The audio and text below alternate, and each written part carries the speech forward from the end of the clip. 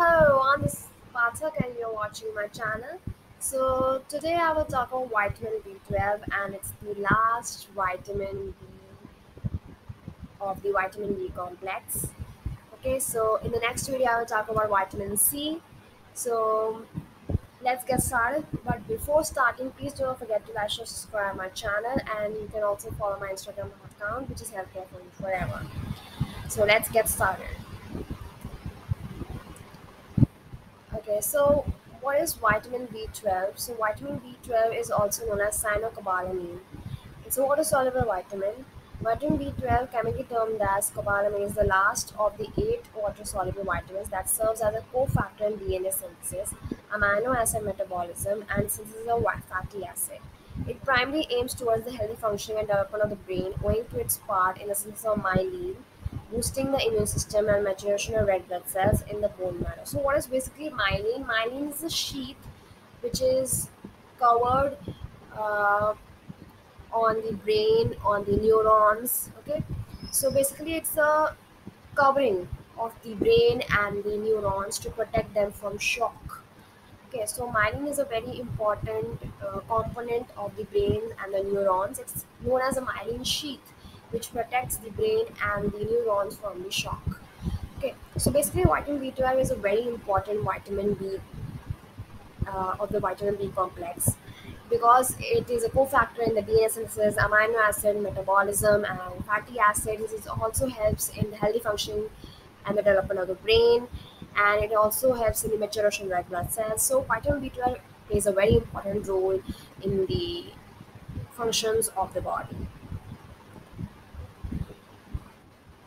Uh, so this is the vitamin B12 structure and uh, it's a very complex structure. You can see that. You can see there's a, um, you know, ketone group, there's an amino group, there's alcohol group. You can also see that there's um, a cobalamin in the center of the structure. Okay, so it's a very complex structure, but it is a very useful vitamin B because it helps in various functions of the body like amino acid metabolism, fatty acid metabolism, then DNA synthesis, then maturation red blood cells.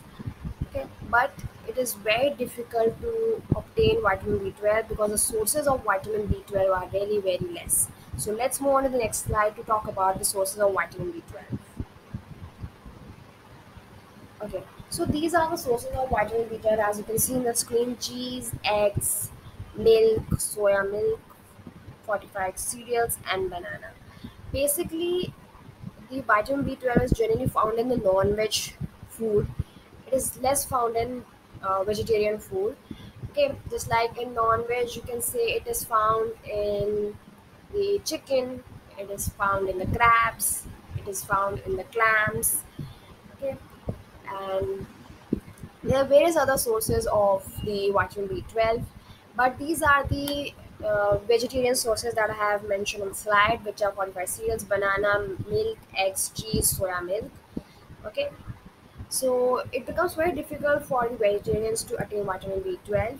So they can use the fortified cereals or fortified milk to attain vitamin B12, whereas the non-vegetarians can attain vitamin B12 through crabs, chicken, through salmon, through clams. So these are the various sources of vitamin B12. Let's move on to the next slide. Now, what are the benefits of vitamin B12? So, benefits of vitamin B12, you can see that it helps in the production of red blood cells, it improves memory, it enhances the mood, stimulates the immune system, and improves the nervous system.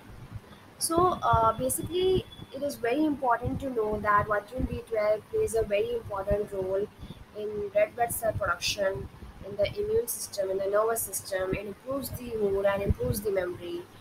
Okay, so vitamin B12 you can say is one of the most important vitamin B or vitamin B complexes, more important than the other vitamins which are mentioned because it is playing a very crucial role in each and everything in DNA synthesis, in the red blood cells, in the amino acid metabolism, in the fatty acid metabolism. So it is playing a very crucial role in each and everything. Let's move on next slide to talk about the deficiencies. Okay, so deficiencies of vitamin B12 are as follows. So, first one is the pernicious anemia. So, what is basically pernicious anemia? Pernicious anemia is an anemia which is caused due to the deficiency of vitamin B12. Okay, so what happens in this particular anemia is that that there's an intrinsic factor that is secreted by the stomach. That intrinsic fi- uh, factor is very much responsible to absorb the vitamin B12 from the food source. So, if this intrinsic factor is not produced by the body, then there's a deficiency in the vitamin B12 because the body is not able to absorb the vitamin B12 due to the lack of intrinsic factor. So, what happens is that there's a low level of blood in the red blood cells, which ultimately leads to the pernicious anemia. So basically, what happens is that you are taking vitamin B12, but due to the autoimmune disease, that is the pernicious anemia, your stomach is not able to release the intrinsic factor that is responsible for absorbing the vitamin B12 from the food. So what happens is that the vitamin B12 doesn't get absorbed into the body and this deficiency of vitamin B12 basically lowers down the blood levels in the red blood cells. So there's no maturation of the red blood cells. This leads to pernicious anemia. Now the second deficiency is the numbness. Like it, the deficiency of the vitamin B12 can cause numbness. Why? Because vitamin B12 is very much important for the nervous system. It helps in generating nerves. It helps in providing nourishment to the nerves. Okay, it basically helps in the formation of the myelin sheath, which is very much responsible to protect the nerves or the neurons or the you know brain from the shock. So if there are some problems in the levels of the vitamin B12, it causes numbness. Okay, in your fingers, in your toes. Then it also causes depression because your nervous system is not working well and you uh, are not thinking properly. You are not able to uh, make decisions properly. So that that's why it can cause depression. It can cause memory loss.